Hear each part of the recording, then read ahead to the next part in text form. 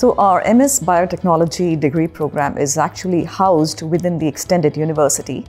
And this is uh, uniquely a professional science master's degree program, which basically means that we have all our classes in the evening as well as on a weekend. We offer very, very flexible classes, and students can really design their own roadmaps based on their availability, their personal life situations, and so forth. And the reason for this is because the degree is getting to provide services to uh, students who have full time jobs and are unable to take classes in the daytime. The second feature, which I think is extremely important for us, is more than 75% of our faculty who teach for the program are coming from an industrial background. So they actually bring the real life applications in the classroom, which is very much appreciated by the students. I spent 40 years in uh, biotechnology industry. We have a lot of people who have worked in industry and have a lot of real world practical applications. So when I teach, I teach um, based on a lot of experience I had with uh, through biotechnology. My, my goal is to give them a graduate experience.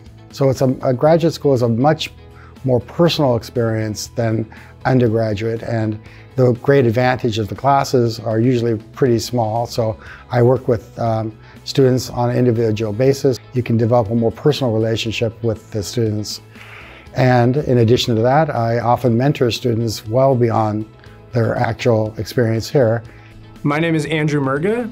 I recently graduated in summer 2022 from the Extended University with a Master's in Science in Biotechnology and a Master's of Business Administration. I currently work in cancer research. I chose to pursue higher education because working in industry, I saw a very big disconnect between the science and the business portions, and I was hoping to be able to bridge that gap. The learning environment at CI allowed me to really go into depth and understand different concepts within the industry that I have now transformed into my working career. I think that joining the EU program allowed me to better see how industries work, the different departments within industry.